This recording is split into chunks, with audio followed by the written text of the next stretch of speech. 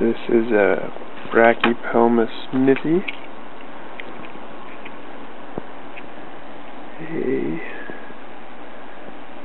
Mexican red knee tarantula. Uh, this one's probably about a three to three and a half inch leg span. I believe it's a female, which is pretty cool. Um, they make okay handling pets.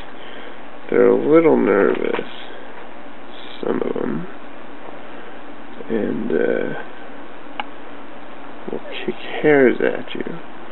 I've been trying to handle this one somewhat regularly. So, oh.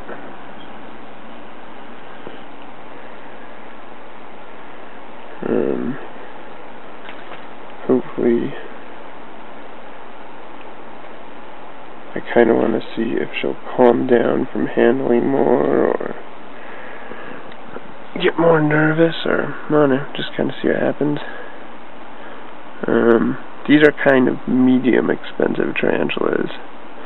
And in the tarantula world, females are always more expensive than males because they live mm, two to four, maybe five times as long.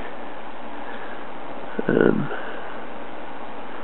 I have a larger male of this species, but he's probably gonna mature out and be ready to mate before this girl is ready to mate.